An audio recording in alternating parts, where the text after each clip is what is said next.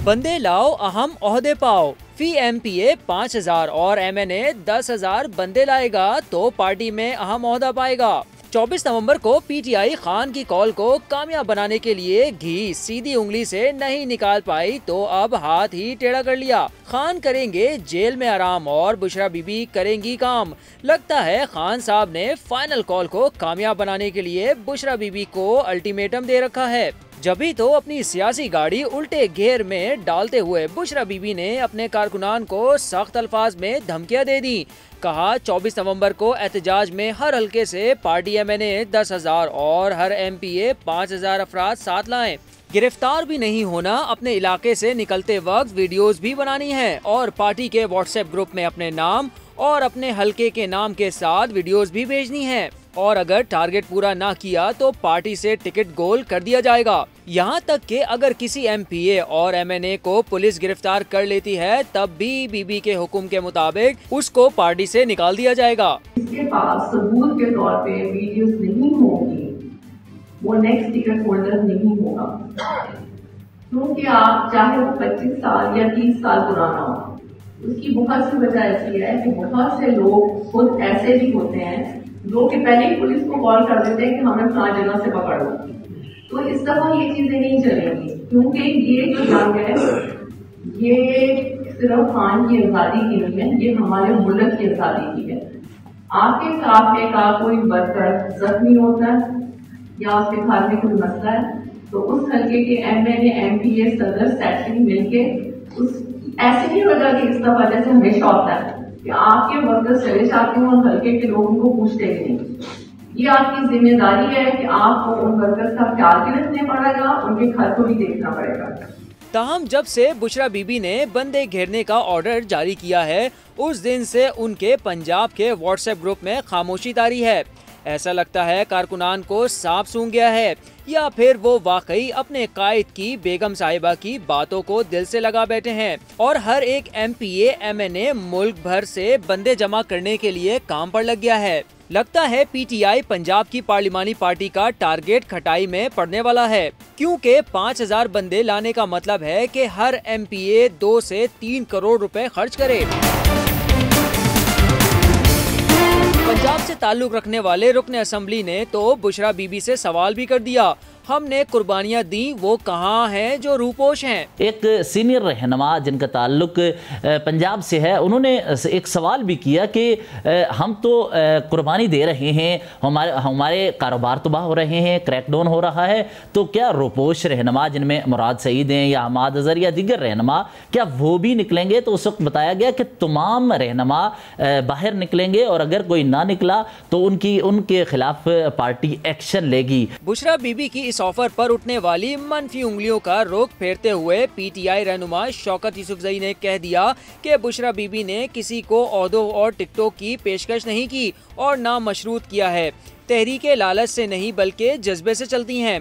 PTI के workers ने पहले भी तहरीके बगैर लालच के चलाई। जहाँ बुशरा बीबी मुतहरिक नज़र आ रही हैं वहाँ चंद दिन पहले खैबर पख्तूनख्वा के मुशीर इतलात बैरिस्टर सैफ का जियो के प्रोग्राम आज शाहजेब खान ज़्यादा में कहना था कि बुशरा बीबी का कोई सियासी किरदार नहीं वो सिर्फ़ दुआएँ करें। क्या खबर दुरुस्त है कि कल जो इजलास हुआ एहतजाज के हवाले से उसमें बुशरा बीबी ने भी शिरकत की? मैं तो इस खबर को दुरुस्त नहीं कहूँगा। उसकी वजह यह है कि बुशरा बीबी ने तो किसी इजलास की सदारत नहीं की। और इजलास तो एहतजाज के हवाले से तकरीबन हर रोज ही मुख्तलिफ़ मुशावरतें हो रही हैं ग्रुपों में भी और बड़े लेवल पर भी। और वो तो पार्टी कर रही है अली अमीन गंडापुर साहब हैं और बाकी पार्टी के मरकजी रहनुमा जो है वो भी मौजूद होते हैं। तो कल हाँ, शिरकत की या शिरकत ही नहीं की किसी भी इजलास में उन्होंने गुजशत दिनों? नहीं जी किसी फॉर्मल इजलास में शिरकत नहीं की। वो हमारी मेहमान है यहाँ मौजूद हैं और लोगों से कुछ एक आध लोगों से जो हमारे पार्टी के सीनियर लीडरशिप है उनके साथ मुलाकातें ज़रूर हुई हैं उनकी लेकिन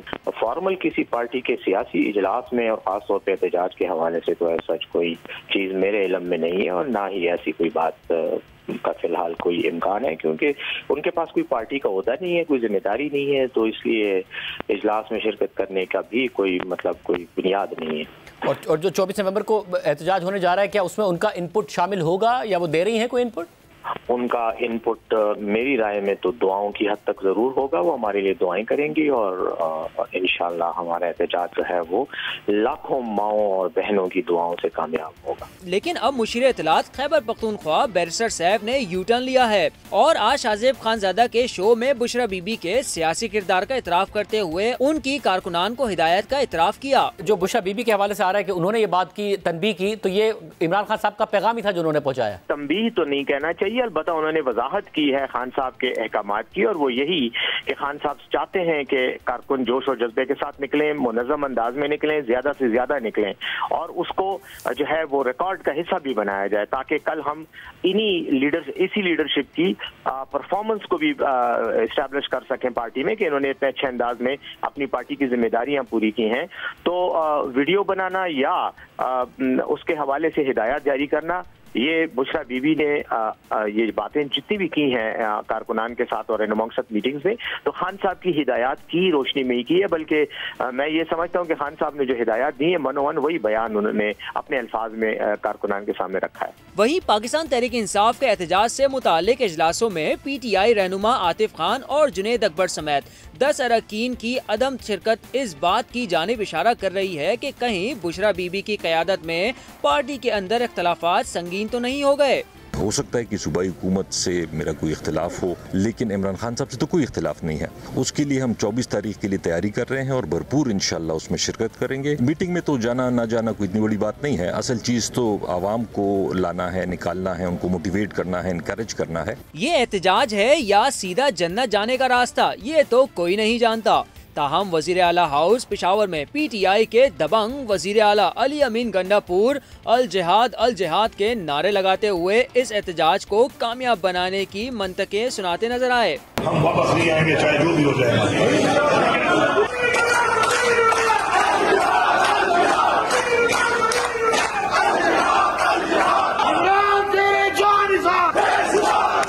कौन सी रियासत के अंदर, एक वज़ीर अला हाउस के अंदर अल जहाद के नारे लगते हैं?